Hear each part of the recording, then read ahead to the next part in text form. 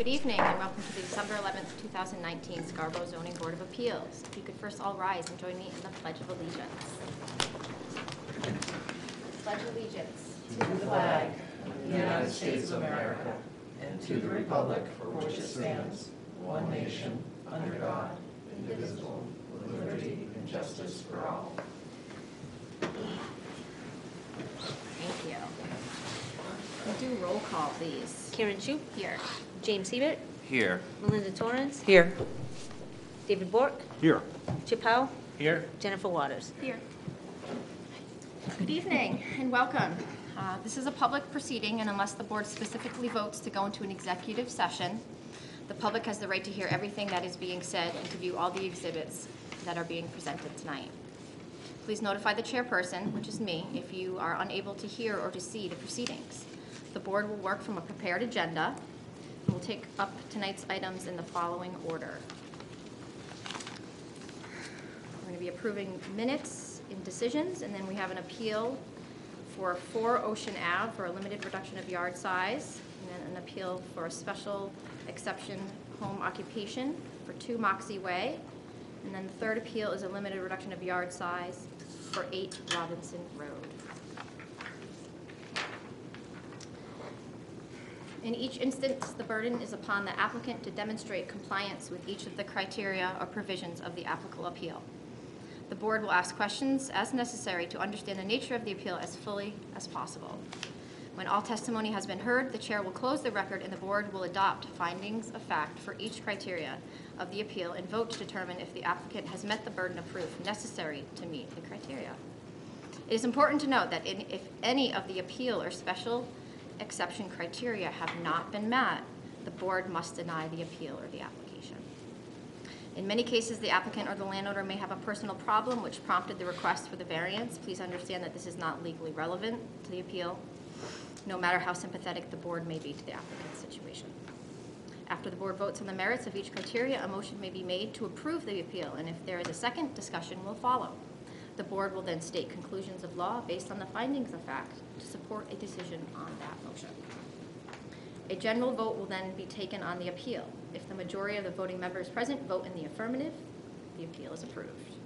If the majority of the voting members vote in the negative, the appeal is denied. The board's decision stands as of the date the vote was taken, regardless of the approval on the final written decision that you would receive. Generally speaking, appeals from the adverse decisions must be filed with the Superior Court within 45 days of the board's decision. And again, we remind everyone that this is a public proceeding, so you have the right to be heard and see what is happening tonight. All persons speaking will be asked to first state their name and address or affiliation, and all board members and interested parties are asked to direct their questions through the chair. So first, we are going to vote and approve the minutes from the November 13th, 2019 meeting. Did the board get a chance to review the minutes? Any questions or concerns or changes? Have? No? Move to approve the minutes as presented. And seconded. All in favor?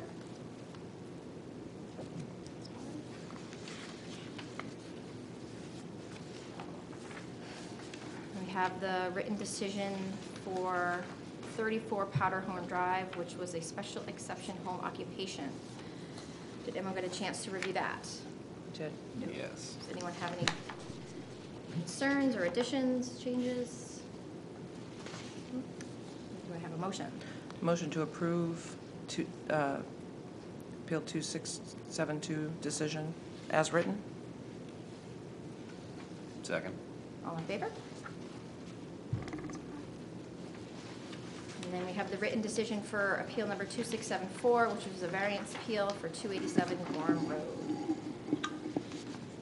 Questions, concerns, comments? Have a motion? Motion to approve uh, appeal number 2674 as written. Second? All in favor? Great, thank you.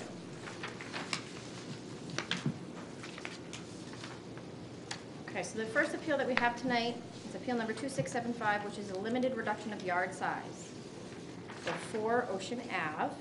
First, I'll ask Mr. Longstaff from the town to give us a little background. Thank you, Madam Chair. The uh, appellant owns a single-family dwelling. Uh, The dwelling was built in 1990 uh, 1922, and that's why it is eligible for a limited reduction of yard size as one of the the criteria. Um, It's pretty straightforward. The structure includes a small, single-story rear addition uh, that the uh, appellant wishes to add a second story to in order to have a master bathroom added to their bedroom. They only have one ba- uh, bathroom on the second floor that serves four bedrooms. So this is just going to uh, be a a small, modest addition. Um, It has been reviewed by staff through the administrative review process for Higgins Beach Character Code standards, uh, and it has uh, met those standards.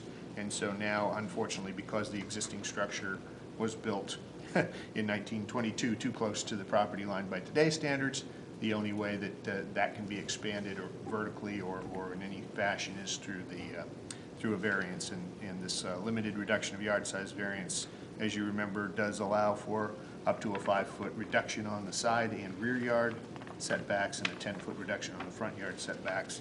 The appellant's here tonight to ask for a a side setback reduction. Great. Good evening, Mr. Wilson. Good evening.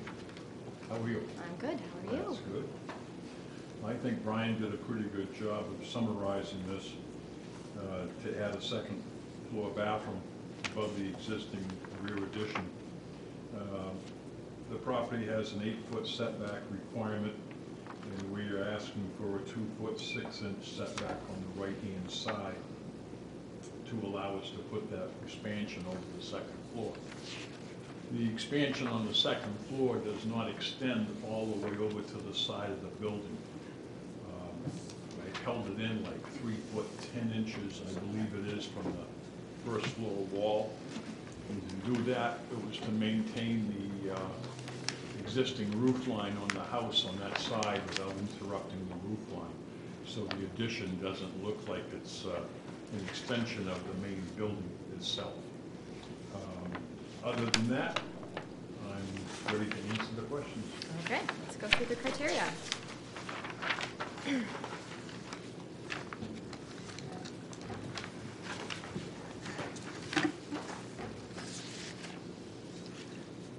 Um, Number one, the existing building or structure on the lot for which the limited reduction of yard size res- residential is required was erected prior to July 3rd, 1991.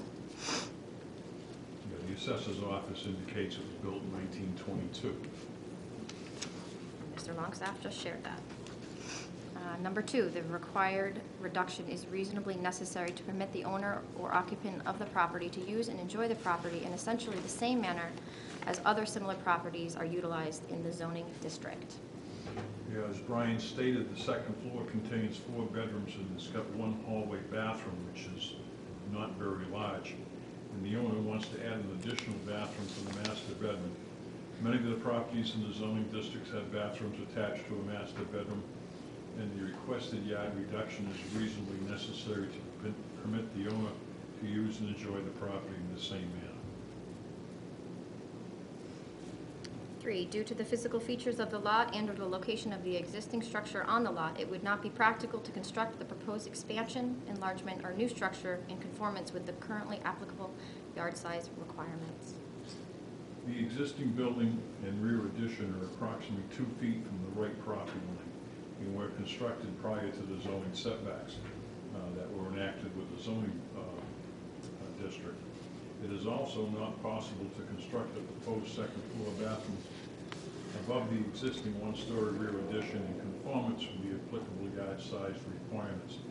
And I would further state that one of the main reasons we're going over that existing uh, rear addition is that we can't add any more foundation to the property, but we can go vertically above an existing structure. Why can't you add foundation? I'm sorry? Why can't you add foundation? Uh, Is Lot it- coverage and uh, DEP requirements Okay. for uh, compliance with their rules. Four, the impacts and effects of the enlargement, expansion, or new building or structure on the existing uses in the neighborhood will not be substantially different from or greater than the impacts and effects of a building or structure which conforms to the yard size requirement. As Brian said, also, the proposed second floor extension has received administrative approval from the Planning and Code Enforcement Office uh, for being in compliance with the character-based zoning of Higgins Beach. And the impacts and effects of this proposal proposal will not be such substantially different from or greater than the building which conforms to the requirements. Five, the applicant has not commenced construction on the enlargement, expansion, building, or structure for which the limited reduction in yard size is required, so that the Board of Appeals is not considering an after-the-fact application. No work has started at all. Correct. Okay. Does the board have any questions? Can you describe the homes on either side of the property? Are they in a similar situation where they're sort of bounded by their lot um, and uh, partially first-story, partially second-story buildings? On, on, on the adjacent properties you're Yeah. talking about? Yes. Um, The one to the inland side is a one and a half story cottage type building. Um, The one on the ocean side is kind of an extended one and a half story building. Uh, It's not a full two story, but, and it covers quite a large property, square footage on that lot as well. Okay, thank you.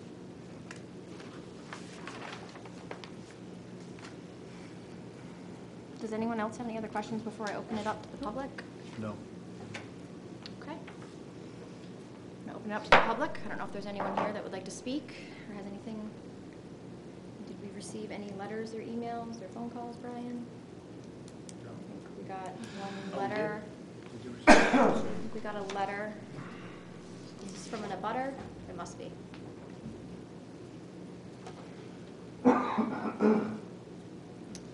So this is from Rodney Loughton, who is the owner of the Breakers Inn, who is in a butter. He said- He said, "I am writing in regards to the zoning appeals of my neighbor Susan Petrick, Petrolick, mm-hmm. for Ocean Ave. I understand our application will be heard by the zoning board at their meeting December 11th.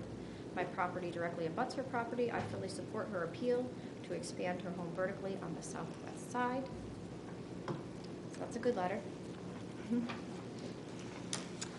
If that was it, I will close the public hearing, and now the board will do the finding of facts and conclusions of law.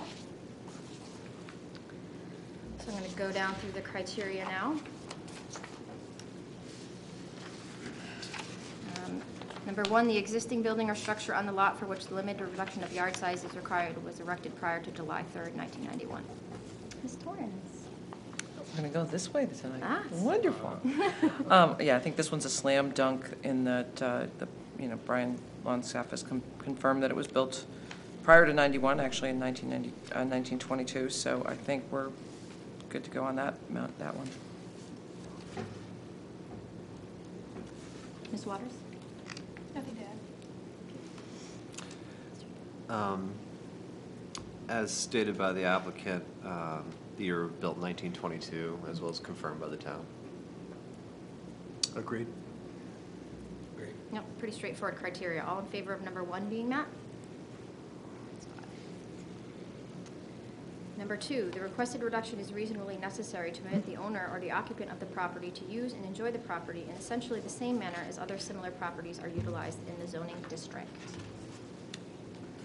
Um, So the four-bedroom home in, in this particular area, I, I think you've got a situation of functional, functional obsolescence to actually only have one bathroom. So I think it's really, it makes sense to have a second bathroom, and I don't see where there's any issue um, with it not meeting the same, meeting the standard.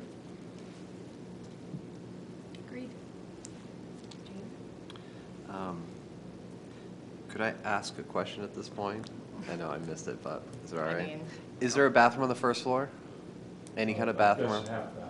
A half bathroom, so just a, just a po- toilet, okay. Um, And I would say, if there was a full bathroom on the first floor, I would view this as sort of reasonably desired rather than reasonably necessary. Um, I mean, it is a functioning bathroom in a four-bedroom home that's sized that way, that they can handle that amount. However, um, granted, if this is, if it's true, it's just one singular bathroom where folks can shower and bath, then um, I don't see it uh, I don't think it's unreasonable to request this. No, I certainly agree. I think uh, having four bedrooms is uh, quite reasonable and usual uh, in this particular neighborhood, or really anywhere, uh, to have two full baths. Full baths make a lot of sense. Right, and it's not uncommon for people to have a master bath. And so, um, you know, many homes are being remodeled with a master bath in addition to having the guest bathroom as well. So all in favor of two being met?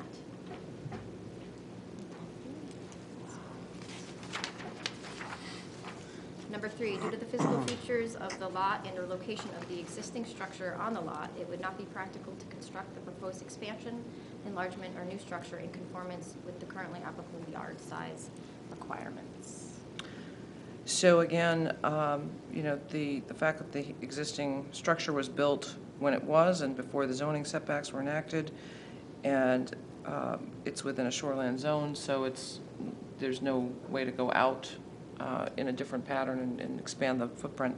So, um, yeah, I, I think this is the only way to do it. Agreed. Um, as stated, it was built in 1922, so it was before any sort of zoning ordinance were put in place. Um, they're really restricted by the physical features of their lot. They're two feet from their property line. Um, so there really isn't any, uh, there isn't a, any practical way to construct an additional bathroom otherwise without sacrificing something indoors. If they were to demo one bedroom or something like that, but then they'd be removing a bedroom from. Uh, uh, I completely agree. I think, uh, as Mr. Wilson pointed out, uh, you have a situation where uh, lot coverage uh, would- would be exceeded any other way. And uh, really, this is the only practical way of doing it. Nothing to add. Right, it- there is no way for them to add a second floor addition over the existing one-story rear addition without being, with- in being in conformance. Um, So all in favor of three being met? Four, the impacts and effects of the enlargement, expansion, or new building or structure on the existing uses in the neighborhood will not be substantially different from or greater than the impacts and effects of a building or structure which conforms to the yard size requirements. I appreciate the fact that this has already received approval of the Planning and Code Code Enforcement Department, so, uh, and being in character with the zoning requirements of this district. So um, I think that that says enough for me right there. Agreed, there was a letter from an abutter too that gave it a thumbs up, so agreed. Yeah, as Ms. Waters stated, um, there was a letter from the abutters stating they didn't have any objection to the expansion, the vertical expansion of this building, and it seems to be uh, in line with other homes in the area that are one and a half and two stories. Uh, I'll further add that I think that um, this will, uh, it's an attractive way of, of, of doing the addition. Uh, It's going to fit right uh, into the neighborhood nicely. Um, I think it's, it'll actually uh, enhance the uh, appearance of this building and the neighborhood. Seems like a practical approach. Right, the proposed vertical addition is actually farther from the property line than the existing two-story dwelling and should have no greater impact on the neighborhood than if someone was doing a conforming addition. So all in favor of four being met?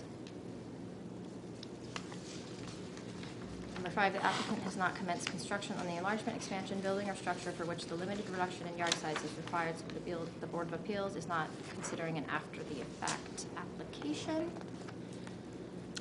Well, the applicant has stated, uh, or Mr. Wilson has stated that no work has started. Um, I'm assuming that that's been verified probably at some point, but I, he's been before us before, and I trust his, his statement there.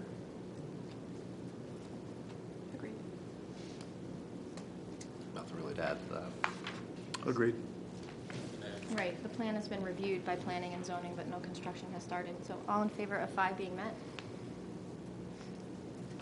Do I have a motion? Motion to approve Appeal 2675 as written, or as, as, uh, as presented. And seconded? All in favor? There we go. Thank you.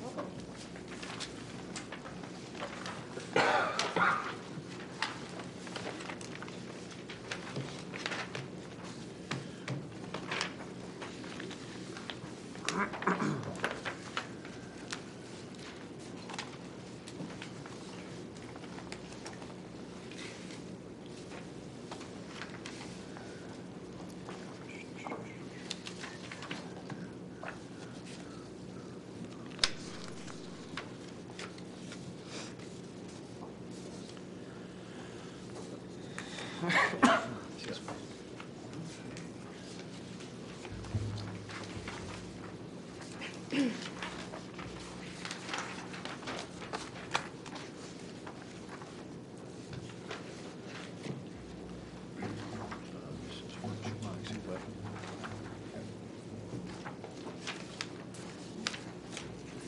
I'm ready. Okay. Next, we have an appeal for 2 Moxie Way, which is a special exception home occupation application. And I'll ask Mr. Longstaff again from the town to give us a little background first. Okay, this is a pretty straightforward uh, special exception home occupation um, permit approval request. Home occupations, as we all know, I think by now, home occupations are a special exception use in most of the residential districts, meaning that uh, would not normally be permitted unless they meet the standards for special exception, which you're going to go through today with the, with the appellant. Um, the parcel is an approved lot in the Bonnie Grove subdivision, um, and uh, the appellant has put together, I think, a, a very complete application and addressed the uh, home occupation standards as well as the special exception Yep. standards. Okay, good evening. Hi, good evening. I don't know if you want to give us a little more information about what you're doing specifically, or we can break... that's that's a million dollar question, right? Honestly, uh, uh, this uh, what we are doing. It's it's uh, my wife and I. Uh, we've over the months dis- discussed like we have a son who's four and a half years old, who's pretty independent now. Daughter's about seven months old, and I think we are very well settled in our jobs. Uh, I'm a clinical faculty member at the College of Pharmacy at UNE. My wife's a data analyst with TD Bank. So uh, I guess we've reached that point in life where jobs are monotonous. Uh, so and adventure is always interesting, Yeah. right?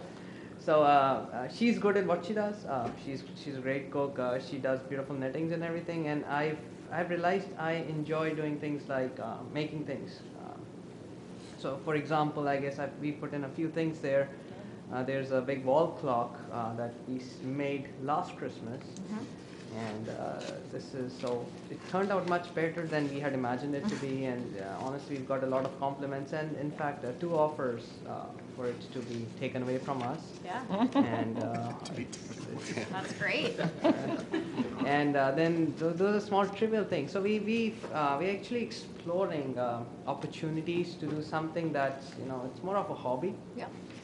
Basically, simple tools, make simple things, and try it out. You know, Mm-hmm. Yeah. if it works, great. If it doesn't, well, it looks really good around the house. kind of a thing. Right? So uh, other than that, what what's the downstream goal? I don't think we are going to turn it into an overnight business uh, as much as we would want to. We are really really successful in what we are doing so far. We're going to keep it that way. We like the style that we have. Yeah, great. So, open Thank to you. questions. Um, So what what we'll do is I'll read the questions if you just want to read the Sure. answers and then elaborate as you wish. So the standards for a special exception. A, the proposed use will not create unsanitary or unhealthful conditions by reasons of sewage disposal, emissions to the air or water, or other aspects of its design or operation. So uh, these projects are part-time. Uh, I think what the tools that we've involved are like uh, a basic drill machine, right, screwdriver, that are neither noisy nor none of our end products create dust, any sedimentation, any oil deposits. Right. So none of them are going to be a hazard to other, uh, you know, the environment, the neighborhood, anything. So I, I work in a college of pharmacy and I work with hazardous materials. So pretty much I can tell you what's going to be Right. detrimental. Uh, B, the proposed use will not create unsafe vehicular or pedestrian traffic conditions when added to the existing and foreseeable traffic in its vicinity. Um, One, uh, what we plan to do is put our material on Etsy. Uh, Two, starting material is available at other homes, uh, Home Depot or Lowe's, so we don't expect we're gonna have such a big turnover that, yeah, we have Amazon trucks driving up and down. And three, we are not having a res, uh, a commercial counter, so we don't expect people coming in and saying, hey, you know what, can I take a look at something? Right. What we have is what, what you see is, so no excess traffic is expected. C, the proposed use will not create public safety problems which would be substantially different from those created by existing uses in the neighborhood or require a substantially greater degree of municipal, fire, or police protection than the existing uses in the neighborhood. Again, uh, tools are, none of the tools are a fire hazard or consume commercial grade electricity. Uh, They're gonna be used in an accommodated space, that's an extra bedroom that we have. Um, I guess everything is within the city permit, so it should be okay. D, the proposed use will not result in sedimentation or erosion or have an adverse effect on water supplies.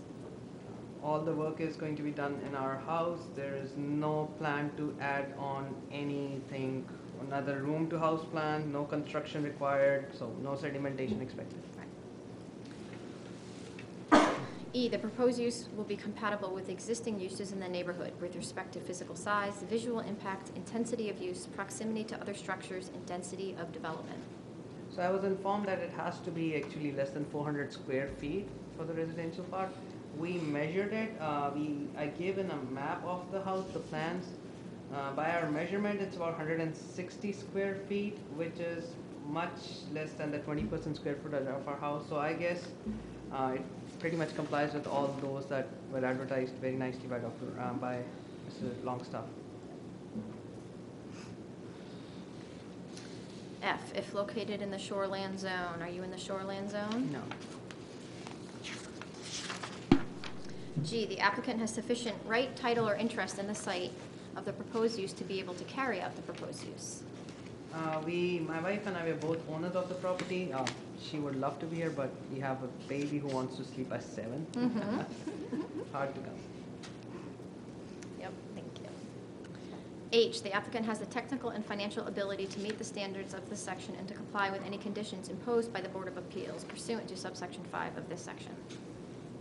I don't know if there's a financial document requirement, but I'm more than happy to share it in a private you know, communication. Well, no, and I mean, you told us that you and your wife have full-time jobs, which appear to be pretty good jobs, so, I mean, you know, you've testified to that. I, the proposed use will be compatible with existing uses in the neighborhood with respect to the generation of noise and hours of operation. So uh, again, in the neighborhood, we don't plan to advertise, so there's no, there are not going to be any yard signs or any glow signs, something that bother our immediate neighbor. There's only one house opposite us, it's, it's a cul-de-sac. Yep. So even then, uh, we're not putting anything that would light up the house like a Christmas tree. Uh, So that should be okay. And you have a baby, so you probably won't be making noise. All lights go out by seven. I'm gonna be parking my car outside the house tonight. Yeah. Oh, that's funny.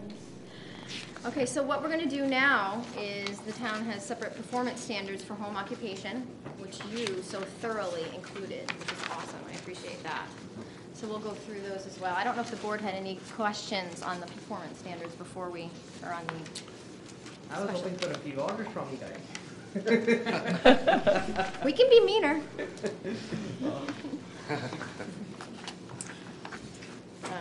All right, so if there's no questions from the board, we'll jump into the performance standards for home occupation. Okay, so number one, the occupational profession shall be carried out on wholly within the principal building or within a building accessory thereto. Yes, as mentioned before, the project, project would be carried on in a spare bedroom. Um, I guess if there's a big one that's storage, we might go to the basement. Other than that, we have enough space.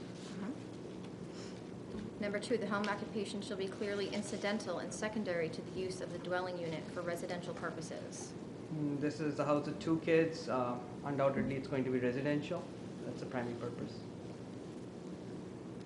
Three, no more than one person who is not a resident of the dwelling unit shall be employed in the home occupation. I don't think the turnover is going to be enough to sustain anyone. Number four, exterior signage shall be permitted in accordance with the home occupation sign provisions. We don't plan to advertise using yard wall signs. Right, you said that. And five, there shall be no exterior displays, no exterior storage of materials, and no other exterior indication of the home occupation or variation from the residential character of the principal building. Again, all, since all business is online, there's no point to advertise in the community. Right. Six, no nuisance shall be generated, included but not necessarily limited to offensive noise, vibration, smoke, dust, odors, heat, or glare. Uh, I guess drill is loud, but it's not louder than doing any other house chores. Other than that, yeah, I haven't used any other. I don't know what's louder, a crying baby or a drill. It's a crying baby. Pretty sure crying baby, Yeah. every time. Well, the drill sound is soothing to a crying baby.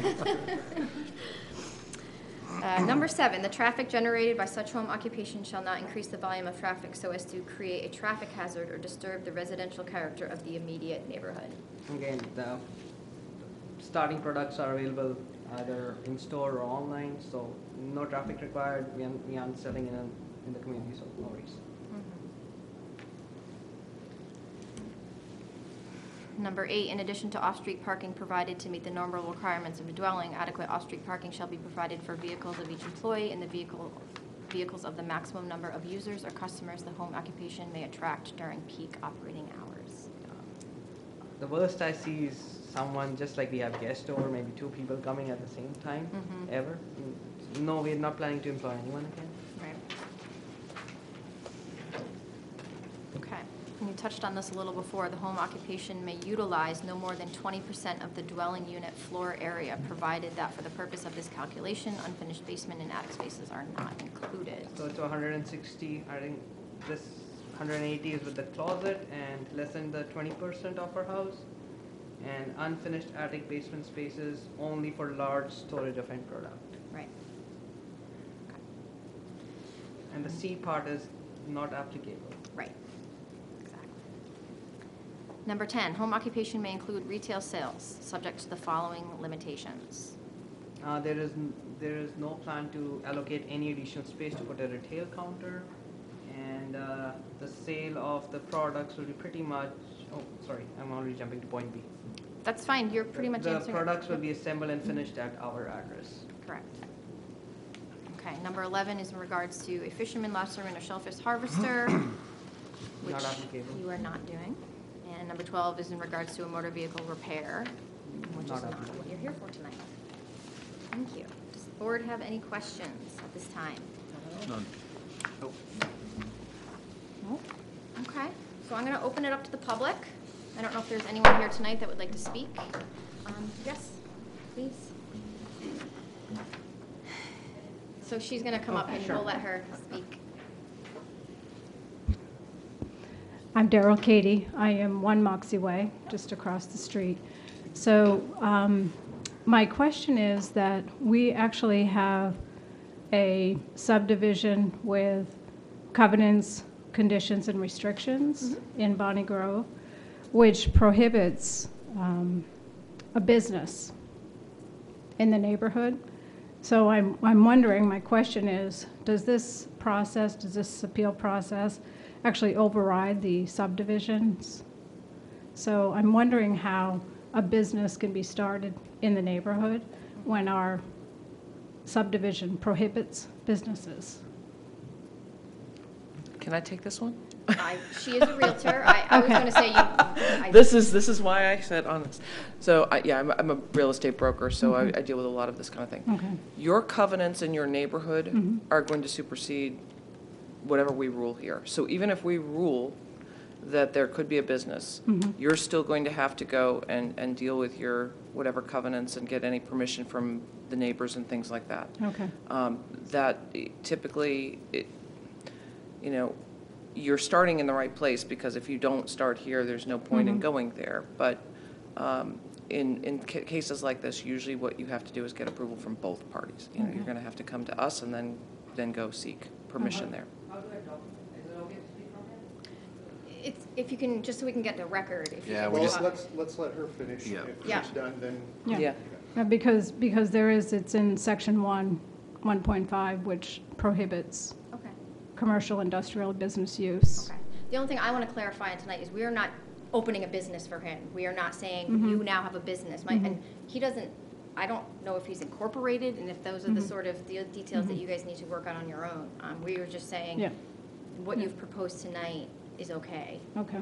Um, And so, so I also would like to then continue to say that if, if in fact there is an approval through the association, that there are some other things that if you were to get that, that I would like to ask you to consider as well. So you, you touched on um, things such as supplies and so forth that I would like to add a little bit too. Sure. Um, Currently, again, in this, I'm drawing on some of the covenants, the conditions and restrictions and such. It talks about you know, trash containers and things like that, having those visible from the road or from another lot. Well, that's already a concern. So I would ask that you consider adding that into your language that I don't see that stuff because I don't want to see it. I see it now. Are you saying it already is an issue, or you're concerned about? It's already an issue, so I don't want it to continue or become a bigger issue. Okay. If there's more supplies being delivered to make more products and such. The other is parking. You addressed parking. Um, If there are more cars that come in, you pulled up the, you know, one Moxie and two Moxie, you can see that we're very close together. There's very little space for additional cars. Where there are additional cars, it's very difficult for me to get in and out, so some provision for that as well, that they not block my access, Right, because that occurs from time to time now, and okay, that can't happen. yep, Um, The delivery vehicles coming in and out, that can't block my access either. And, and just kind of the last thing is that I currently maintain Mo- Moxie Way for snow removal. Um, If there's going to be a lot of delivery vehicles coming in and out, I don't want to have to do that for his business. So I would request that if, if he's going to have a business, that he needs to have delivery trucks come in and out, that he maintain Moxie Way for snow removal, not me. Um, So, just things to consider if he does get approval from the association and it does move forward, that. right. I, I appreciate the concerns that you have brought forward. I think I can see they are concerns for the future, Mhm. and they're not things to do that. I think what we've heard tonight is this is very secondary to kind of the occupations they have. Well, And I- there's, they're secondary unless it comes to fruition. Right. And then they're primary. Yep, and so then you, you would have, you know, you could say they're violating the right, the rules of the home occupation. Correct. You would have that right to come back at that time. Well, say and that's that. my last thing. What Yep. recourse would I have if the rules that you establish aren't followed? Mr. Longstaff? Any violation of the standards is an enforceable thing that you can Mhm. call the code office for. Okay, But this isn't a forum, this isn't really a forum to air grievances that have perhaps come, be- come before this request. Mhm. You know, this isn't a, this isn't a, oh, it's my turn to get some leverage on no, this no, situation. it's my And- concern that, And the second thing is the town doesn't enforce covenants, deed covenants. no, no, no, I understand that. So- I understand that. So just be, just Mhm. be aware of that. Yep, and I understand We that. concerns, and, and- and again, any of that stuff can Yep. happen, but Mhm. I don't know that, based on the description that uh, uh, Mr. Chad has given us tonight, Mm-hmm. that I don't think that you're, you're, you're not gonna really know that this is going on. And quite frankly, we have an au- home office provision in our ordinance that if he were doing any kind of back office work, such as accounting Mhm. or Yeah. that kind of stuff, he wouldn't even have to be here. No. And. Because this is being conducted in a bedroom, Yeah, and it's very low volume, I don't think there's gonna be much difference. It's just that I couldn't, I couldn't permit him as a home office because it Mm-hmm. Yeah. didn't fit the mold. right, and, and the, we, we have neighbors that have home offices, and that's permitted, and it is for exactly that reason. If they work from home and they say have another job, say at the State Department, which we have those folks, they work at Tyler Technologies, they do that, and that's, that's permitted. Well, I But look at this as being very similar to that, only he's working with tools. And, and distributing and having large trucks come in and take products away and such. So I think it's very No different. different than anybody ordering stuff on Amazon. Yeah. It's So different. we, we've heard your, we've heard your concerns, Yep, but and I yeah, appreciate okay. that. So thank you. I, I do have a question before you leave, though, Madam Chair, if I may. Yep. Yeah, If you could you know, Yes. go back to the uh, podium, thank you. Um, Is this a private development, or is this a public uh, street? Um, Moxie Way is a private road, I see. but Bonnie Grove is a public development Yet the covenants that apply are to the entire development? association. So you have a Yes. public road and private streets in the same Yeah, that's- development? And, That's and we all That's the way it pay, is, okay. we yeah. all pay dues to the association, yes. I understand, yeah. Mhm. Okay. You uh, said there were, oh, go Well, ahead. the the only other thing I would add is just, you know, we're, we're ruling uh, based on zoning and, and the provisions associated with uh, home uh, business, uh, businesses. That's all we can rule on. Mm-hmm. You know, we cannot say anything at all regarding, you know, what the homeowner association comments. So that's, a- that's, I think that's, that reflects the other, what mm-hmm. all the board members have said and what Brian has said. That's, that's really between you and the, the other members of the mm-hmm. association to deal with separately. You know, we're strictly looking at this as a zoning issue Right. and a home occupa, a home occupation permitted or not. Okay, that's, that's all we can rule on. Thank you, though, for your input. Okay. I would like, uh, Sure.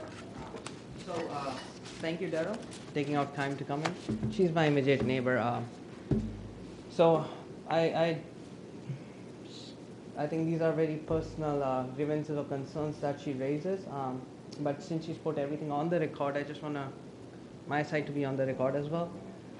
One, um, I don't, I don't want anyone down the line using her words on the record in a meeting to utilize them against me. So I want to just put my side on the record. This is absolutely untrue that she maintains uh, Moxie Way uh, because, for instance, I have a snowblower and I have cameras outside my home. So I have actually, I can document evidence of me plowing the road. The reason she does that is because I guess she leaves really early I don't intend to get up at 5 a.m. to clean the road. If she needs to be out at 6, that's, that's what we decided on a you know, joint basis. So second, anytime there's a hole in our road, I have documented evidence where I am personally and independently, so since I'm good with tools, filling up those holes and repairing them. Uh, I do send pictures to her, and uh, I've never asked for money or anything. I don't know if she remembers that, but again, I'm trying to put those things on the record. Yep. Uh, yes, I had a big truck that came in with the material, but guess what? It was a swing set for my kids. Okay? That's kind of what I figured. Uh, the swing Yeah. set came in 30% damaged. I have documented evidence, emails that I reached back to the Walmart company. I said, look, what do I do? They said, we'll ship out stuff with you in a week. It took two months. That material, the truck where they placed it, it's too heavy for a single person to move. It lied at the end of the street, okay? And I had no intention of moving it because uh, I couldn't. And again, I have documented evidence of a truck dating coming in, picking that material, shipping it back to Walmart because uh, 30% I didn't want anything to do with broken. So yes, um, big truck came in. It's going to keep coming in. I'm going to, even if you deny it, uh, of course I'm not going to stop shopping Amazon. I guess most of my shopping is from Amazon. All right, one more point. Uh, car parkings. Uh, she brought it up. We are a very close-knit family. We have eight other close families. Uh, we do about two get-togethers at my home per month, and we do about four to five date, uh, not date, not sorry, kids' nights together. Yeah. So we have three, four cars coming. I'm not going to stop that, uh, honestly. And car, we are very, very uh, proactive in telling people that up to four cars can come on the driveway. One car goes in the central region, and if anything else is, it goes down on the Okay. bottom of the where the Bonnie Grove is. Um, I guess I can get my other neighbors to vouch for that. That has happened to that extent that we've even asked for their permission to park the cars on their side. Other than that, I just wanted to put it on the record. You know, No, you I, have I your appreciate you concerns. qualifying Yeah. that, because I, I can see it's a little, Thank little off. I have- Mr. Chada? Sorry. Thanks. How would you feel about delivering uh, your, your makings to the UPS store instead of having a truck come to pick them up? I don't think a truck's gonna pick me up. Honestly, the way I've looked at the prices, um, it's really expensive to get UPS to pick stuff up. I've never done that. Uh, I work at UNE, so we are blessed with an on-site mail that we can use for our personal use. So anytime I have to actually ship out UPS and FedEx it, they come and pick it up from my office at UNE, and I don't even need to go to the store. So I, even if that is something that needs to be sold, uh, then that's that's going to be that's the route we're going to take. It's going to go to my office, and it's going to go from there. Thank you. Did we receive any other letters or emails or phone calls? I'm going to close the public hearing. And now the board is going to go through the criteria. We don't vote on any, home occupation, right? It's just, After. oh, yeah, that's what I thought, Yeah. thanks. Uh, One, A, excuse me, A, the proposed use will not create unsanitary or unhealthy conditions by reason of sewage disposal, emissions to the air, water, or other aspects of its design or operation. I, I think it's very obvious that this is going to be a very small, hobby-based business that is going to have probably no additional impact on the neighborhood that would not occur if it was just solely a hobby and these items were not being sold. Um, As somebody who's been a crafter all my life, I, I can kind of sympathize, I mean, it's, it's fun to work with your hands, it's fun to build things, it's fun to do things like that. And I think you're just finding a way to get them out the door after you get them done. That's kind of what I see as happening. Um, So I don't believe that there's going to be any additional impact uh, from an environmental con- concern at all or sanitary conditions.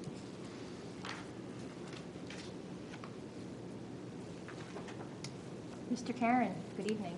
Good evening. Uh, Nothing further to add. Ms. Waters? Pass. Mr. Hebert?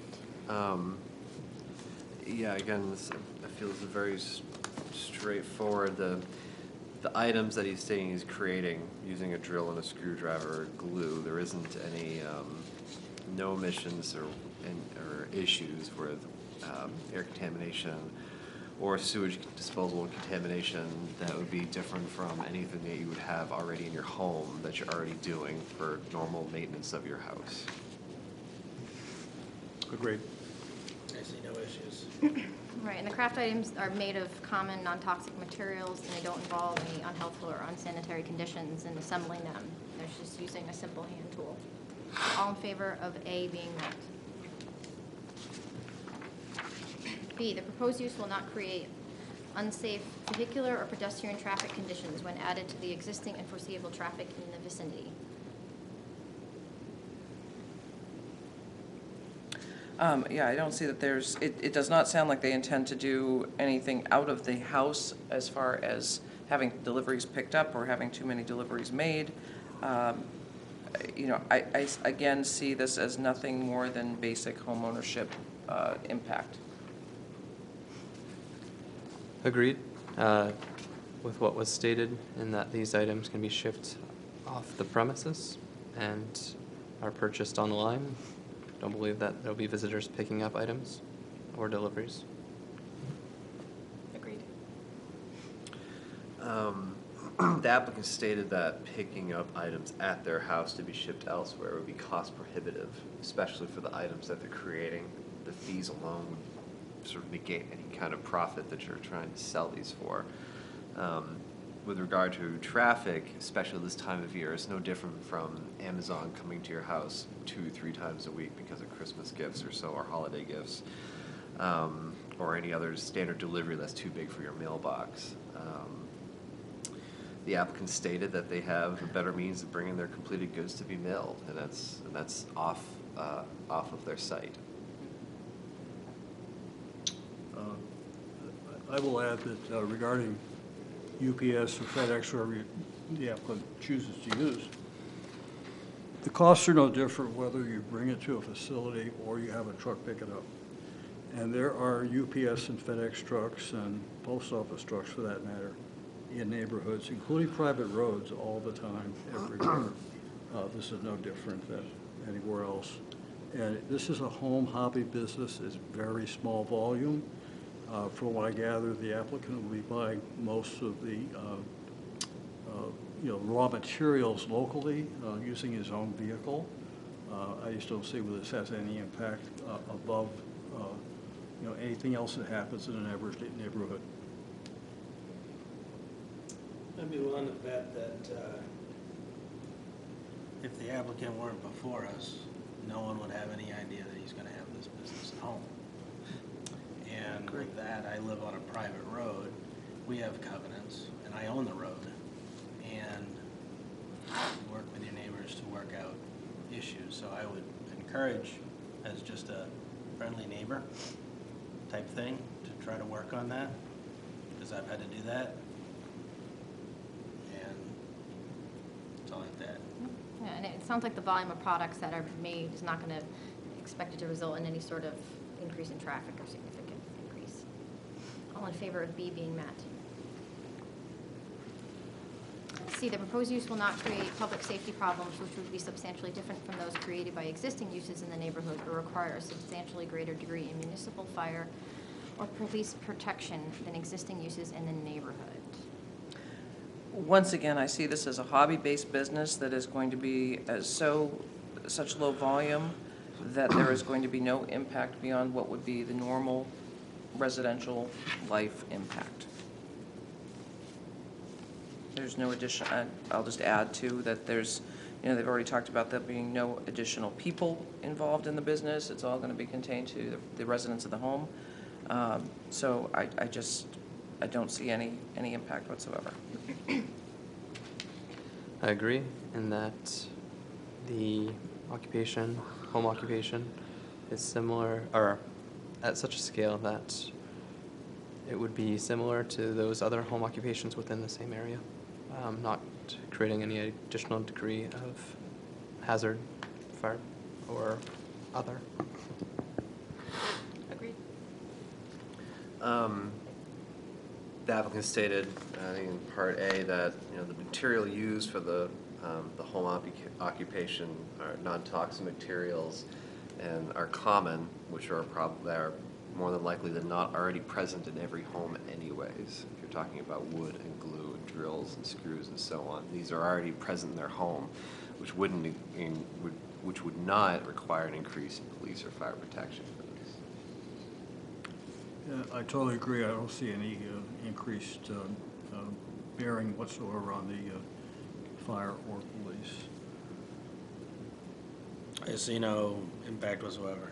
Right, and then he said he's using simple hand tools. There's no big equipment being operated or anything like that.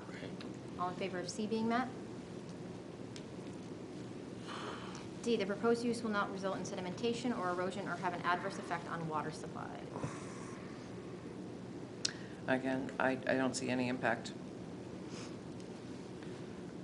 Agreed. And no additional work outside the home um, to the site, so no adverse impact.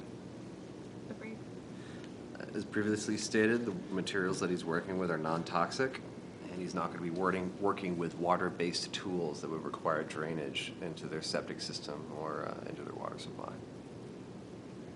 Uh, And I agree also, and further state that um, uh, none of the work will be done outside, uh, which could create uh, erosion problems, but uh, rather all inside of a- a spare bedroom, uh, having no impact at all on the environment. I agree, no impact. Right, the product assembly is going to be within the existing dwelling, and there's no changes being made to the actual dwelling. So all in favor of D being met? E, the proposed use will be compatible with existing uses in the neighborhood with respect to physical size, visual impact, intensity of use, proximity to other structures, and density of development. So again, with a, with a hobby-based business, I think you're not going to have any idea what's going on within that, that structure. Um, I, I just, from, based on what we've, has been described to us, um, I don't feel that there will be any, any notice or, or awareness of, of what's going on inside from, and from any of the neighbors or anybody else. Um, and, you know, I- do want to just point out, you know, you're kind of in, a- you're in a pipe stem situation where I understand it's, it's tricky because you've got two homes that are off of the same drive. Those are always tricky situations, and I don't think it's going to have anything to do with this business. Agreed. Um, The noise and visual impact being within the existing dwelling will not be, or should not be noticeable. As previously stated, should the home occupation grow at such a scale that it becomes um, the primary use of the dwelling, and then that's something to follow up upon. But no concerns. Oh, agreed. Um, as- as- He's not, he hasn't indicated that he's gonna have, you know, he's not gonna have planers or drill presses or wood lathes in this. It's gonna be hand tools, drills, a hammer and screwdriver. Um, So the square footage he has in his house is more than enough to accommodate, um, accommodate what their, uh, what his, what his actions are gonna be. And he's demonstrated on his plan the square footage that he's gonna be using for it, which is under the twenty percent. You forgot the glue gun. Share the glue gun. I'm dangerous with the blue Well. Those are battery powered these Okay, days. okay. Uh, So, uh, let me add on, on this particular one, on item E here, we're talking about impact on the exterior of the home, the the visual impact of the home relative to the neighborhood. There is no impact whatsoever. Yeah, I don't see any impact whatsoever. Um, Would be an interesting question to know when you're gonna find the time to do it all. Seven-month-old and a four-year-old, working full-time. You must not sleep.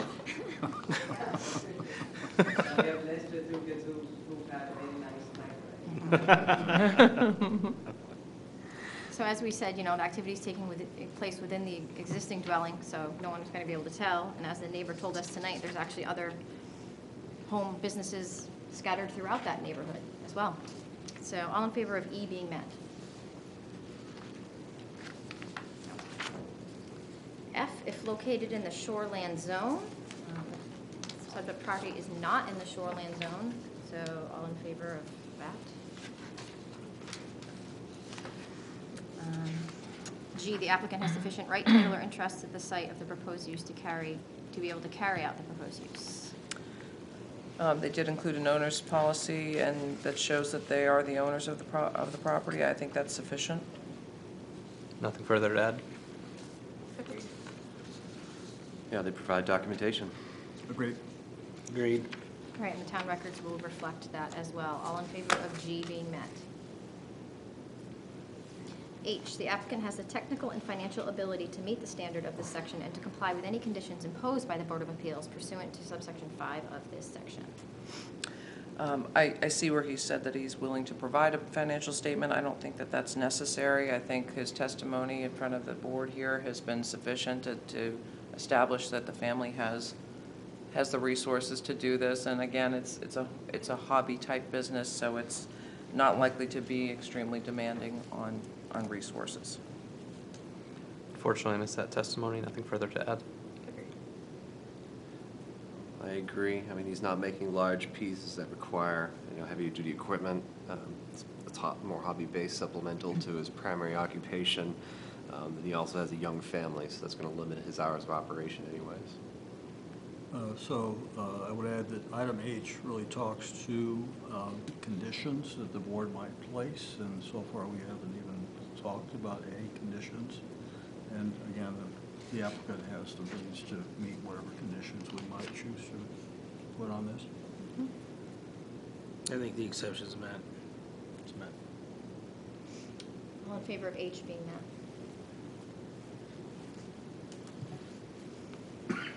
I, the proposed use will be compatible with existing uses in the neighborhood with respect to the generation of noise and operation of hours. So once again, hobby-based business, um, you're not likely to even notice it going on within the home.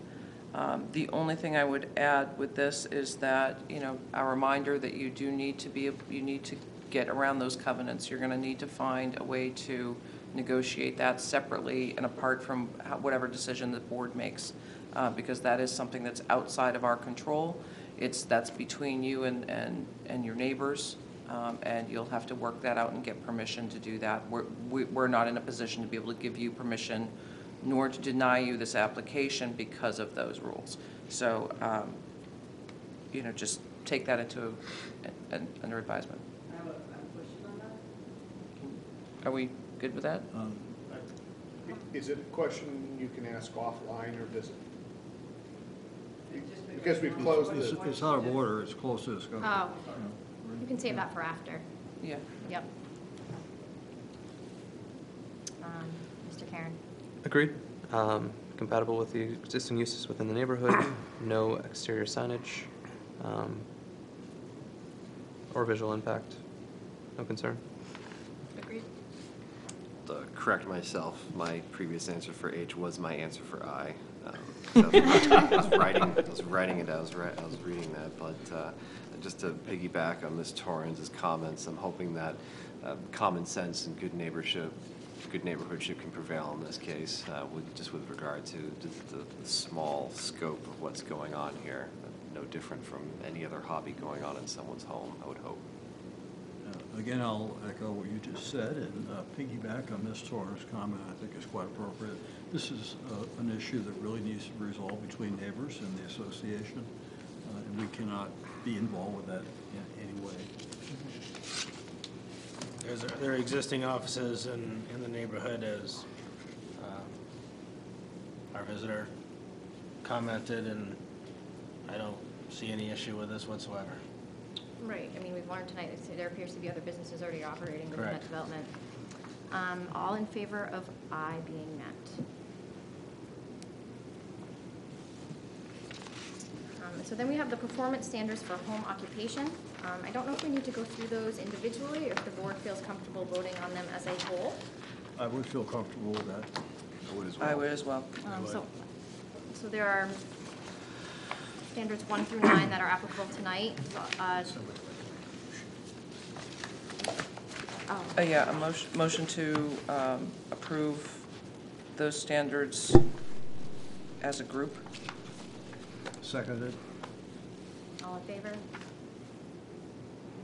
Was it, was there any discussion before you Oh, voted? sorry. Any discussion? All right, let's do that. I'm sorry. No, I think they were very clear on this. I mean, everything was well documented. Thank you for that, by the way. It's not often we get everything typed out for the home Right. I occupa- know. occupation thing, Very which is very, appreciated. I uh, will second that th- third or fourth, that motion, because uh, he- I agree. He- he- Yeah. So often we have applicants coming before us who don't even address the uh, performance standards, and you did a remarkably good job with that. There you go. Not every applicant takes the time to do that. Yes, but you followed through. So- That's rare. So with that, I, um, I think, you know, this, this covers any sort of questions or discussion we would have on it, so. Now do we vote? Okay, so all in favor of the performance standards for home occupation being met? Okay. And now do we have a motion on the appeal? I'll move to approve uh, appeal number 2676 as presented. I'll second. All in favor? You are approved. Good luck.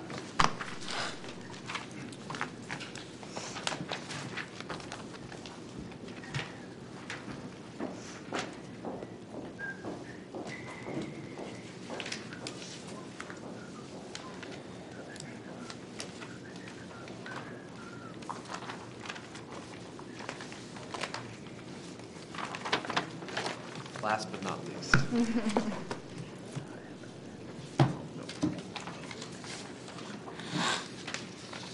Well, at least you know there's nobody opposed to you here, because you, unless they walk in at the next minute, last minute.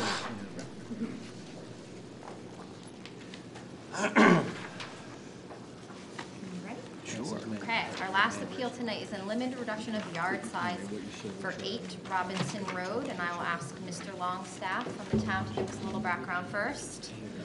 Okay, the um, appellants um, are here to request a limited reduction of yard size. The uh, single-family dwelling is on record as being built in 1960, so it qualifies under that uh, age restriction of the structure. They're in the R2 district. They have uh, over a half-acre uh, parcel, but it's kind of a uh, an oddly shaped, non-conforming parcel because of the road frontage only being 74.97 feet. So it's a little narrower than usual for an R2 lot, which, uh, and that coupled with the structure already uh, being located uh, some 12 and a half feet from the property line, obviously not meeting the 15-foot setback, um, they're here to uh, request that, that uh, up to five feet of uh, relief on the side uh, setback. And I think they, uh, too, have put together a very complete application that the board's had a chance to review. Uh, I think they provided some fairly decent um, arguments for uh, why this, they, they choose to put this addition on the, in the location that they're proposing. And I think, uh, I think more, more information on that will come from the appellants as, as you go through the standards. Um, I really have nothing else to add to that. May I uh, just add something, uh, Madam Chair? Uh, There were some notes in the, uh, in what we received here regarding medical issues, and I would uh, think it would be, not be proper for those to come before the board since we are broadcasting this live, and that's, these are. Correct, yes. things that Should Don't- not be Don't feel like you need to go into details. Okay. Yeah. I was gonna ask that, the only reason I Yeah. have anything is if it helps provide context Yeah. at all for why. I don't it- think it does. I- I Okay. don't think No, it's- I, there's no I- bearing. I think No. we appreciate the background, which is helpful, but don't Okay. feel like you need to elaborate on it Okay. tonight. Right. So if you You guys want to you go can ahead practice. and give us a little, a Right. little bit of Sure. information. Yeah. That about was what you- more for the purposes of just understanding why we're doing that Yeah. particular thing Yes. and why it's so important to us to Yep. try to do it. Oh, we appreciate that. No, I, I do. But It's uh-huh. it's between So- you and. Obviously, you know who we are. I'm Eric Stunkel, 8 Robinson Road. Yeah, um, Caitlin Berry, Robinson Road. And um, like Brian said, we're proposing to build a 15 by 18-foot single-story bedroom addition, which would extend the existing back left corner of our house. And we had a boundary survey done, and our house currently sits uh, 12.6 feet from the side boundary line on the left, um, which is obviously um, not in line with the current 15-foot setbacks. So we're applying for a three-foot variance to include a six-inch roof overhang so that we could build right off the existing structure. Um, And the main goal of doing this is to achieve the level bedroom floor um, because we've, the age of our house, we've had those issues. Um, We've tried a multitude of other solutions to try to fix that first. Um, and so we discussed with an engineer, architect, and builders, the best way to try to achieve this goal was to put on the addition. um, And it's risky to try to remedy things inside um, because you get into the internal structure, which could be very costly, as well as not necessarily uh, fix the problem as well. um, And not get the desired results when we're trying to use all our resources to try to ach- achieve that result. Um, so the size of our house is very small. Um, So you can see that um, the internal layout, as well as the other sidelines, impact where we can put the addition, as well as what we can really do to the internal layout. Um, And if we were able to get a variance, it would allow us to put the addition in the most logical place while achieving uh, some of the other aspects that are important to us for future concerns, such as single-floor living, um, being able to add a functional closet. Um, And if you have to go in further, when you're talking about that small of a size room, then you become quite a narrow room. Talk about going from possible 15 feet to at the max um, 12 feet and then it would become very narrow and you sacrifice some of those functional aspects. Um, So when we're kind of trying to invest this much, we want to try to be able to achieve the goals that we need and, and- and also take into consideration future um, needs in our investments. So um, I can elaborate on any of those details if you need me or have further questions as we go through the criteria.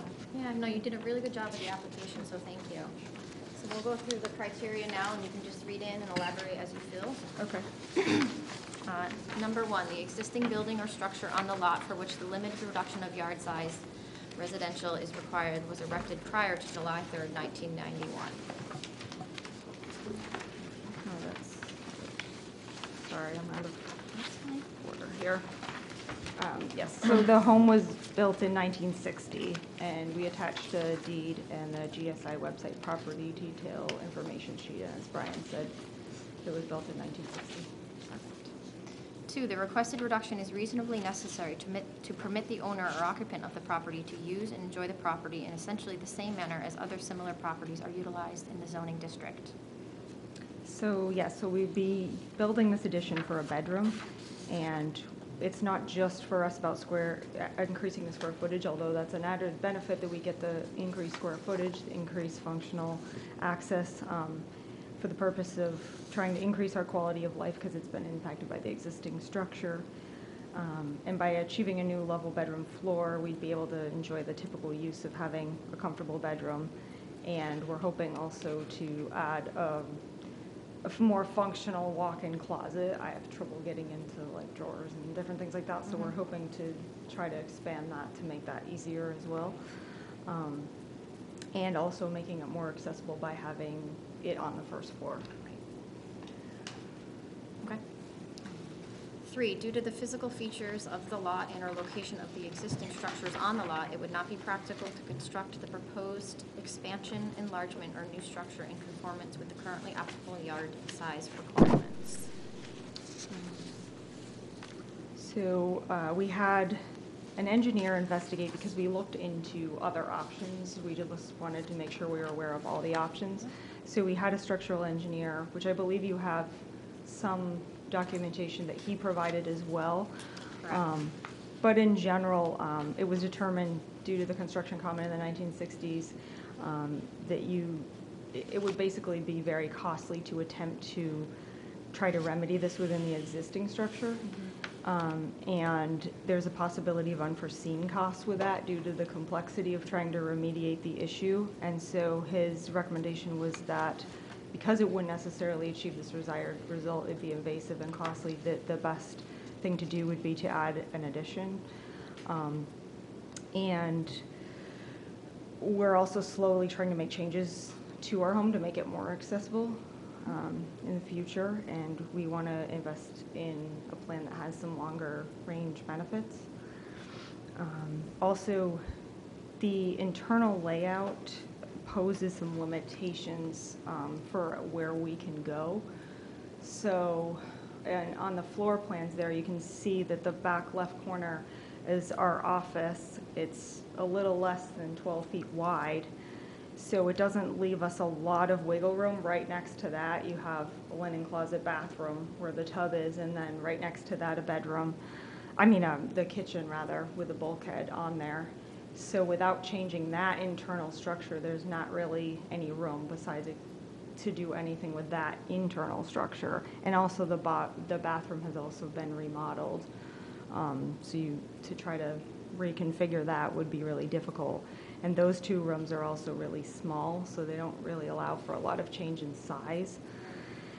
Um, and there's not really anywhere else to reconfigure them. And then due to setbacks, because we have a really long, narrow lot, there's not, the setbacks on other sides are gonna run into similar issues in that we have a long lot, but not any, yeah, not a wide one essentially. Um, And then other layouts, if we were to try to maximize the width in the new portion on the back of the house, there, you can only go so far over as to the bathroom window there in the middle. Right. Which we would want to try to preserve because that's the only bathroom and it, that provides light into that bathroom, it provides ventilation into that bathroom. Um, So we don't want to go over into that bathroom and we don't want to go, even if you were to bring it out, we don't want to go over that window. Um, And if we changed, it- even if we change it to a smaller width, then you start to lose those functional pieces. The closet becomes smaller, the hallway becomes too narrow to be able to fit certain things through it. um, So that are important. Um, Yeah. Well, another, another consideration is because we do only, because we do only have one uh, bathroom, is, you know, we don't know, like, we're hoping this will be for our forever home. Um, We love Scarborough, we love our neighbors, um, and um, we, we would consider in the future putting a small ba- bathroom dormer on the second floor. And so once we start moving over in that direction, then we're dealing with different intersecting spots on the roof and stuff. So if we can just go like straight off the side, then that would just be like one less thing we have to worry about for future kind of growing into, to staying there. Um, And then, you know, as far as, just another thing, um, the, the, the, like to some, guess, are you gonna mention something? Okay.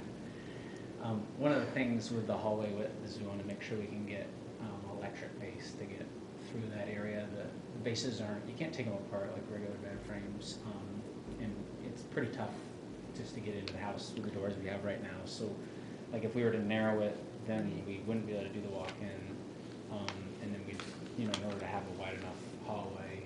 Um, so we're trying to just keep it as open as we can. So I appreciate that being considered. Okay.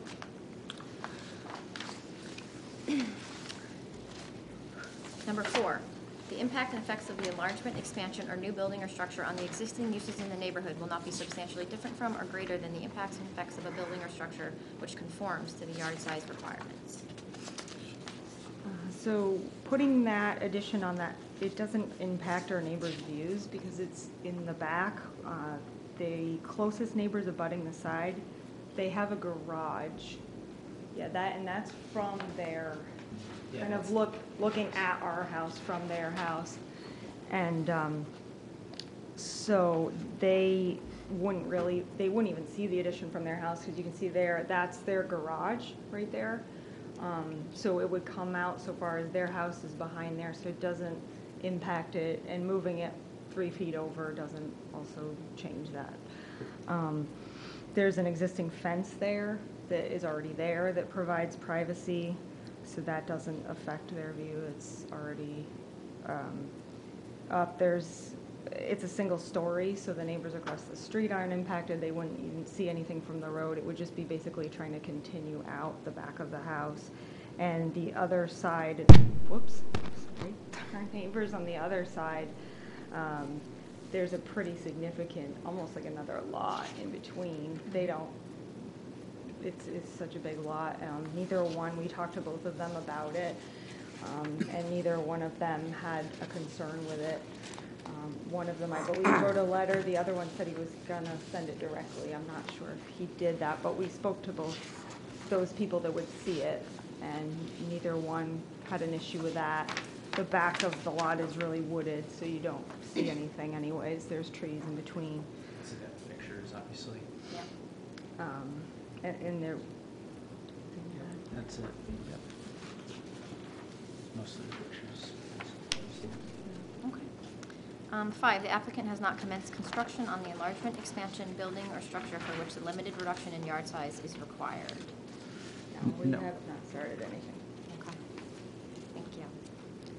Does the board have any questions I don't. this time? Nor do I. No, I don't. Straightforward. Okay, so what I'll do is I'm gonna open it up to the public now. If there's anyone here that would like to speak, I do think we did receive a, a letter. Looks like we got a letter here from John and Pat, John Green and Patricia James. Who live at Six Robinson Road. I'm responding to a notice in regards to your addition. Uh, My wife Patricia and I are the closest abutters, whose garage is immediately adjacent to the pros- addi- proposed addition. We have reviewed proposed plan for the addition and fully support Eric and Caitlin's request for a variance. If you have any questions or require additional information, feel free to contact us. We wish our neighbors the best of luck in their pursuit of this project.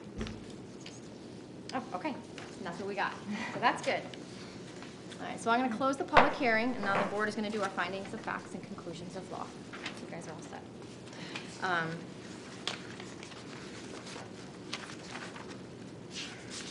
is like probably the best application I have ever seen. You guys can have a seat. You can have a seat. Okay. But Call you back. this is, this, I feel like. You did. It, it shows. I mean, we do a lot, and I have to, I have to comment again. I mean, this is a very thorough application, and you'll see as we go through the criteria, you did a really good job. Madam Chair, I gotta tell you, th- this, this group really listened to the advice. They did. Everybody Right? is- Not everyone listens. I know. This is a great Well, night. Honestly, I tell everybody the same thing. Well, now we Listen. believe you. Now we believe you, Brian. Yep. I didn't hear, she heard. Yep, exactly. There you go. All right, uh, so number one, the existing building or structure on the lot for which the limited reduction of yard size is requested, it was erected prior to July 3rd, 1991. Yeah, I think this is, uh, this is easily determined, and I believe that it's, but it was built in 1960, based on the information attached. Agreed, nothing further? Agreed? They provided the deed and GIS information indicating that, yes, it was built in 1960? Agreed. Agreed. All in favor of one being met? Two, the requested reduction is reasonably necessary to permit the owner or occupant of the property to use and enjoy the property in essentially the same manner as other similar properties are utilized in the zoning district. This is, the uh, so as much as I want to do this, and I want to have no issues with any of this, because, I- you know, but when I look at the criteria, I don't know that I can say that that's, that that's true. Uh, um, I don't know that the requested reduction is reasonably necessary. Um, Because I do think there, you know, as, as much as you wouldn't want to slide over in front of that bathroom window, that is an option, or reducing the, the width of the property. So, um, I, I have my concerns about whether I can actually say that it's reasonably necessary. Mr. I want to thank the, uh, those that helped produce this application this evening. I think that, as previously mentioned, the additional information regarding the placement of the addition with the location of the existing structure, the additional report regarding the structural stability of the existing building, um, helps speak to the reasonableness of its location and its necessity to permit the owner occupant with uh, the use that is similar in the adjacent zoning district and houses. That's it. Ms. Waters?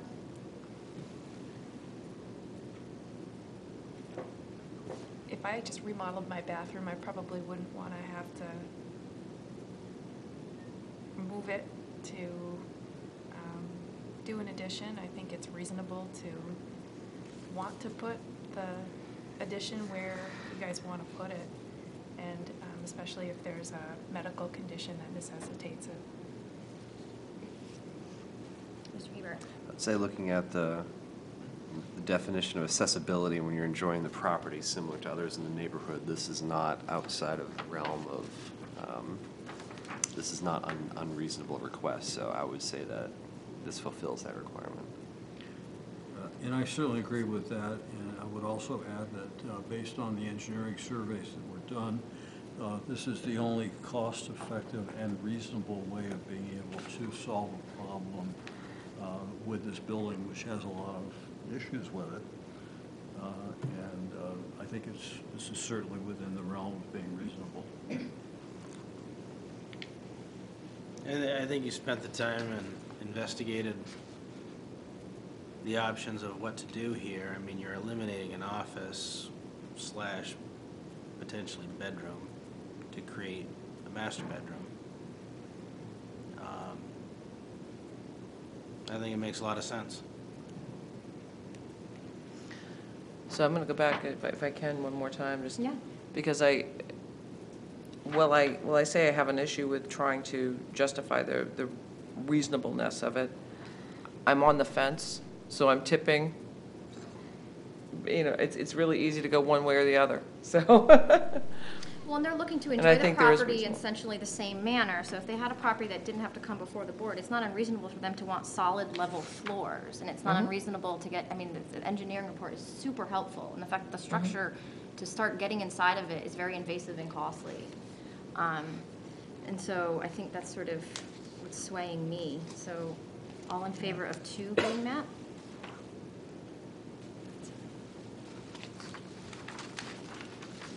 Due to the physical features of the lot and or location of the existing structure on the lot, it would not be practical to construct the proposed expansion, enlargement, or new structure in conformance with the currently applicable yard size requirements. So I think it's very, very clear, looking at all of the supports that we've been provided with, that it, it's a very long, narrow lot, um, and there really isn't a lot of options here as far as expanding. Agreed with existing bulkhead in the rear and the property line to the other side of the house, the front of the house, on the neighbor's property. Um, The documentation that you've provided tonight shows the best location for it. Mr. Karen just stated with regard to the location of the bulkhead and the kitchen, um, elsewhere, there, there really isn't another location where they can build this addition out. And also, due to the odd shape of the entire lot in general, they're very restricted of where they can put this.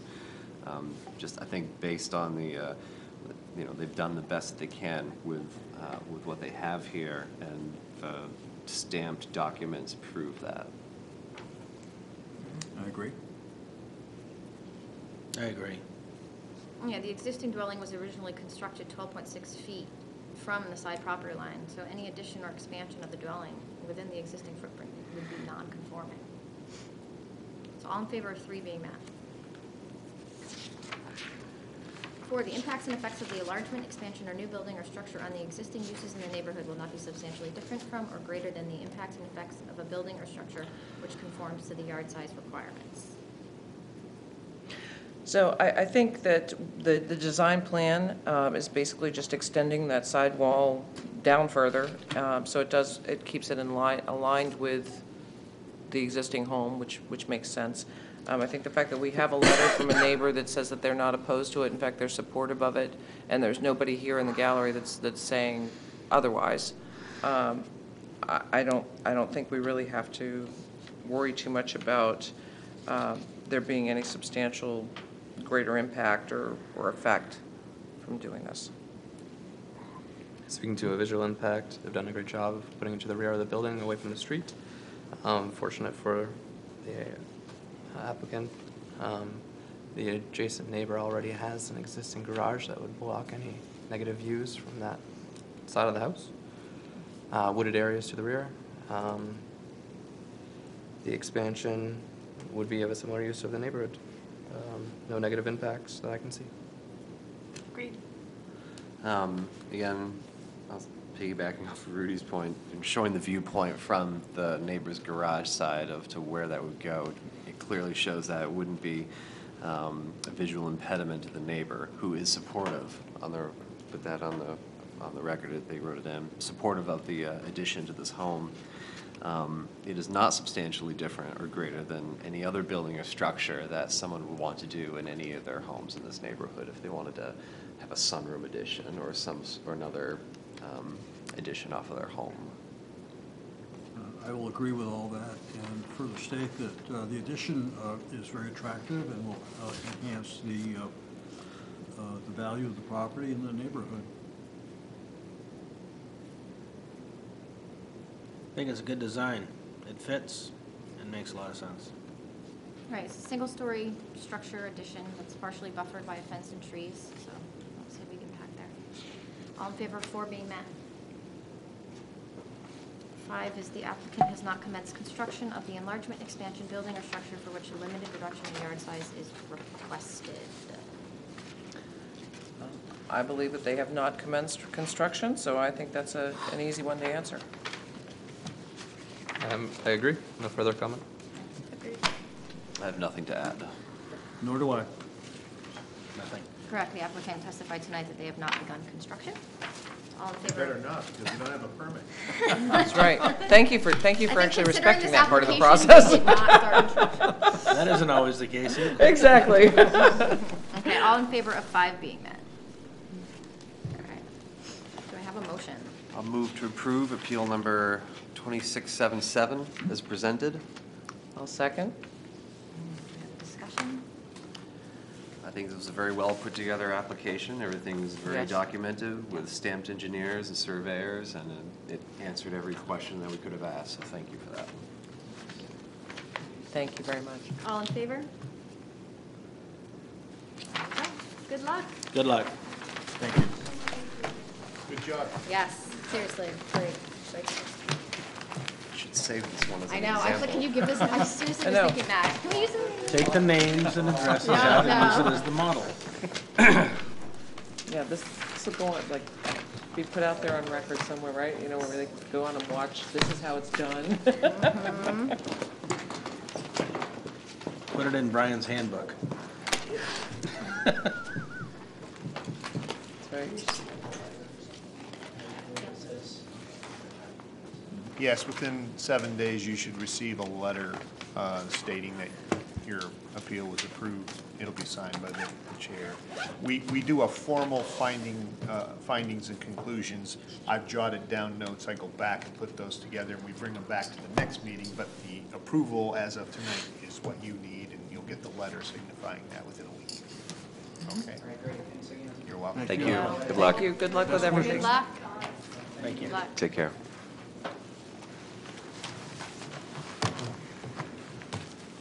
Doreen was kind enough to give us the calendar, the schedule for next year. Uh-huh. We also wanted to point out that the meeting in January is actually going to be technically the third Wednesday, which is January 15th.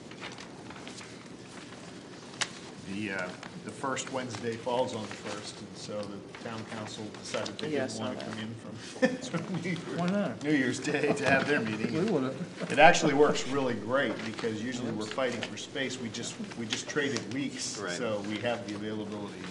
That, that will probably be the only time that will happen, although as I was mentioning to Karen early before the meeting, the budget hearings will be coming up, so we're, we're likely to get bumped from our usual spot at some point. Hopefully, we'll keep the same night, but we may have to bounce around for a few meetings, but it, it usually doesn't take more than one or two.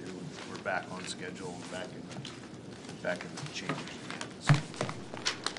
so. Um, yeah, so you have some more agenda items Yes, to cover. so every December, or I'm not sure, I was told we didn't always do it in December, but I think it's appropriate to uh, do elections in December, so when we come to January, we have our new members or whoever's in charge doing it. Um, so we, we're gonna do elections now, I don't know if anyone has any motions or comments or, I'll move to nominate Karen as our chair. And I'll second. Are there any other nominations for chair? Because it's not just like you nominate one and go for it. Right. You can nominate someone else if you want to. Well, does Karen want it? Oh, she already told us she wants She it. can, she Well, I can, think I res- I think I just said in my email, Brian and I, I think, Yeah, we I all think saw that. people who have been on the board long enough know that we've worked really hard this year. to Yeah. Kind Yeah, of yeah. so you can. I think I must have missed an email, but yes, so as long can- as you want it, can- we're good. You can, you can accept the nomination or respectfully decline. Okay. So you Oh, accept. so I accept. Okay. Thank you, but we need a vice chair as well. Well, we have to vote on you first. Oh, we're, oh, we're voting? Yeah. Yeah. Okay, so, all in favor, I guess? Of me? Thanks. Um, is anyone interested in being vice chair? I nominate James. I was second. gonna say, I I- think James has done a really good job. Can enjoy it. I will second that. Okay. It's the All in easiest job favor ever. of James as vice chair? There we go. All right, thanks. Appreciate it, guys. Congratulations. Yes. It's like vice president. It's the easiest job in the world. Do we have any other uh, issues, comments? I really don't have too much. Um, I may have mentioned a few meetings back that we, we do have some shoreline zoning amendments that are all queued up, drafted, have been reviewed by the state, and, uh, and uh, are now ready to go before the ordinance committee for their blessing and then on the council. And My sincere wish that, um, should, should it need to happen, that the zoning board of appeals will um, support those amendments. We worked pretty hard to get them in line with the state's guidelines, hopefully correct a few things that will bring a few less um, people uh, to, to the board for a variance when one doesn't necessarily have to happen because of the state guidelines. So um, hopefully we kind of ironed out some of those things. and, and, uh, I'm Hopeful that it, you you know, the board would support those um, at the appropriate time. Right, so I know, we've been to an ordinance meeting before, along those lines of coming to the ordinance meeting, and you just say something really quick, just kind of in Yeah. support and your experience, because I mean, no one, not a lot of people go to these ordinance meetings, so there is a big impact when one or two people show up. There'll also be public hearings, either at council or at planning Okay. board as part of the adoption Right. process or the approval process. So I'll keep, I'll try to Yeah. send out emails to keep you aware of mm-hmm. those meetings, and if just one or, even one or two could mm-hmm. come and Yep. support that, I think it, it's helpful. Sure. If I can add to that real quick, I mean, we've all seen how impactful it is for uh, reviewing an application and then coming to the meeting and all of a sudden having one or two people come up and speak that could potentially change your Mhm. perspective um, on, on a certain application. So like, as, as uh, Karen said, going to these if you can are very, very helpful. To shut them down or to approve them. Whatever, whatever it is. The email reminders would be really helpful. Yes. Yep, when those uh, are- we'll- We'll make sure that we do that. Definitely. I don't know exactly when those Yeah, meetings just- are gonna happen at this point, but as When soon you as know. I Like a know. week ahead. I'll let you, you all know, just if nothing else for your own information. Can we just get a Google Calendar and Thanks, sync Brian. it with our own? Yeah. And, and other than that, all I can say is uh, Merry Christmas and hopefully everyone has a wonderful Yes. holiday. Yes. Happy holidays. Thank you, you too. Merry We'll, Christmas. we'll Yes. start the new year with the same slate of folks, which is great. Yes. This is so that's exciting that we awesome. have so many of us. I think the board has done a really good job. I feel like we work well together, and I think we've done a really good job at doing our finding of facts is in really kind of articulating what we, what we need to do. Yeah, agreed. Okay, do I have a Agreed. motion to adjourn? Motion to adjourn. Second. All in favor? Okay, we are adjourned. Thank you. Thank you.